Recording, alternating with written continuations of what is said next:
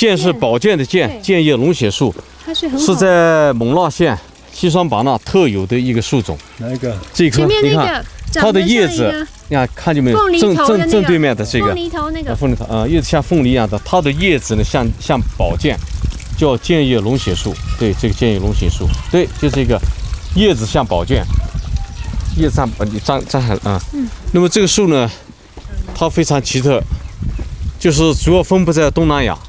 那么过去呢一直没有找到。那么它的树干上呢可以弹出红色的树叶，这个红色树叶是非常著名的中药，叫血结，血结。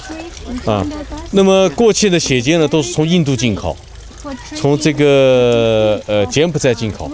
后来七十年代了，就是裴老师和这个呃蔡其涛教授带着裴老师，七十年代发现了在云南有，而且有好几个种，其中这个种呢叫剑叶龙血树，像剑一样的，就在西双版纳分布，主要分布在勐腊县，就分布在这一带的石灰岩地区。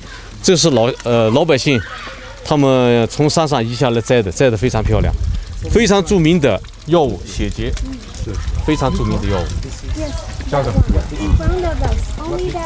Dragon Blood Tree，OK？哦，Dragon Blood，Dragon Blood tree。Uh,